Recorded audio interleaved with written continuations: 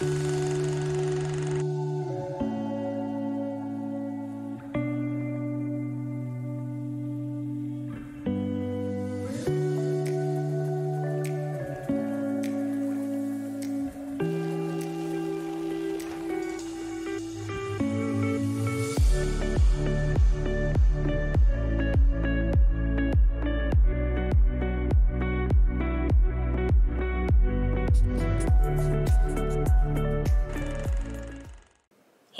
Liz here with Full and Fulfilled. Thanks for tuning into today's video. Many of you have been asking about what kind of exercise that I have primarily focused on with breaking my plateau. And I have to say, it's magic. It's walking. It's walking. It's getting your steps in. I increased from two to three, and sometimes I even get more than three. The last few weeks, I haven't been able to get as many steps because I don't have my Apple Watch anymore. And so I'm just kind of relying on my phone to tell me my steps, even though like right now I don't even have my phone with me, um, like walking around the house and doing stuff.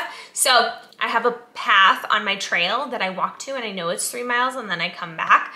So it's not like super accurate when I'm like reporting for the last few weeks, but I didn't necessarily feel like I need a tracker. I just know. Um, that I at least get three miles out and back um, on my trail.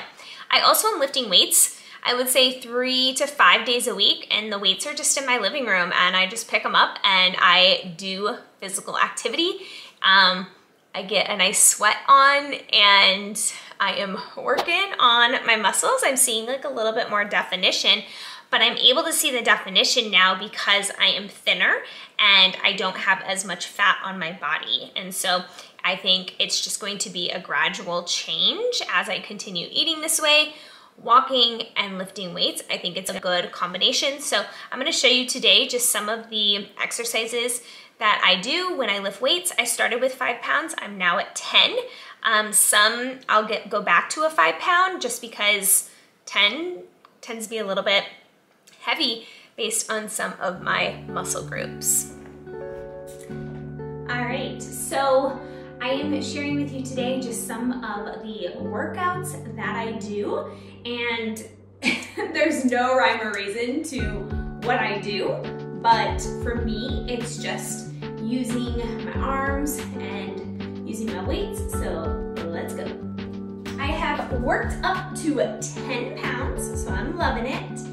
And for me, it is just movement.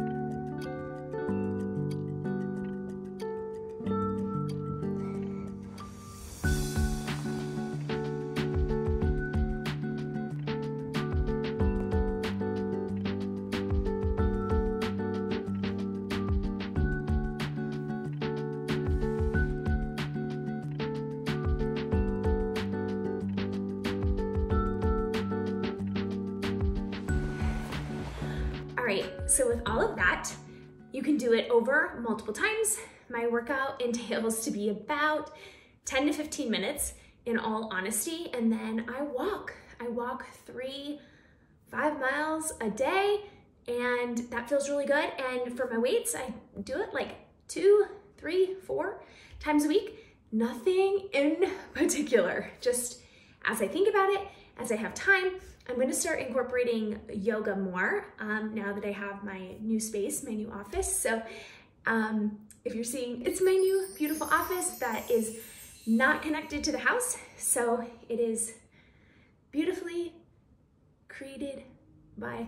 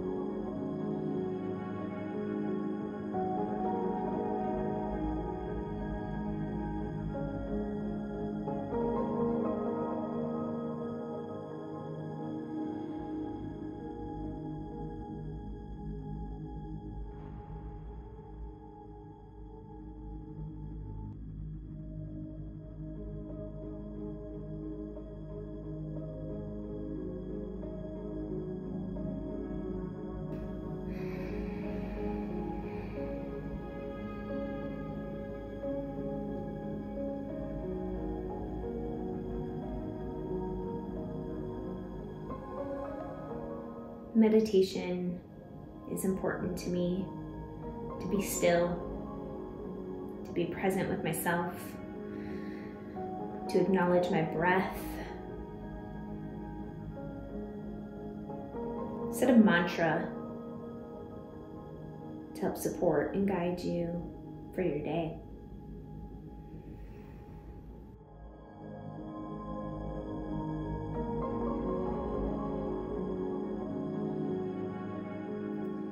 So if you're thinking, how can I incorporate activity and movement and weights into your lifestyle?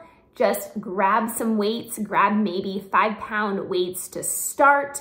Just do something that's gonna help you build that muscle. And for me, I'm able to see a little bit more definition because I reduced my fat on my body. So it's just been a combination of both where people are like, you look so trim. And it's because I worked on my food. I worked on what I put into my body. And now I feel so good. I feel so alive. I'm now able to incorporate weight and really start working on definition and defining my body a little bit more and that feels really good. So start with something. I also have my weighted vest that I love. I will link it below.